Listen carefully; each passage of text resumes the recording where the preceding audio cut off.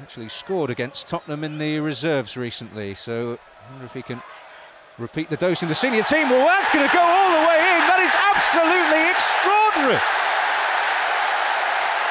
He said he's England number one. And now he's a number one goal scorer.